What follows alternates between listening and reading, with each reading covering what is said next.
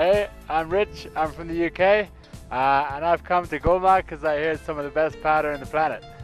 The people are great, and uh, I've heard the food's absolutely amazing as well. Uh, so I'm looking forward to tucking into a few curries later on.